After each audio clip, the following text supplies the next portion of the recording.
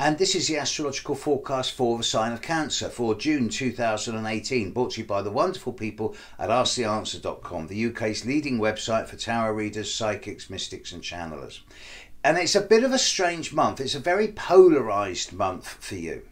To start with, you've got um, in the whole month, you've got Saturn and Pluto and the coming full moon at the end of the month in your opposite sign of Capricorn and yet at the for the first half of the month through to the 14th 15th you've got venus in your sign.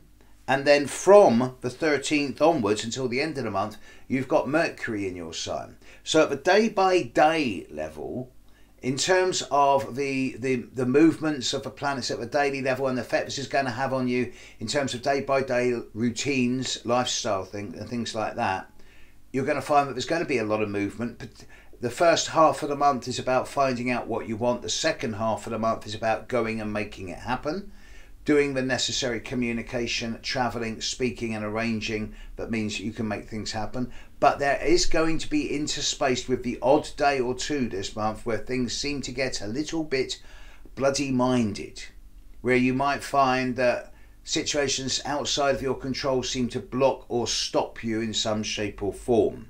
And if you find this, it's only going to last for one day. So if you feel that you wake up and you're doing something and it's just not working, then stop. Step back and come again it come at it again the next day and you'll be glad you did. So you're going to have to dance a bit this month. It's not a difficult month in terms of any new long-term challenges, but you're going to have to weave between the gaps to get things to work the way you want and you're going to have to know when to stop and when to go. So trust your intuition. As far as June 2018 goes, Cancer, have an intuitive and gut orientated month.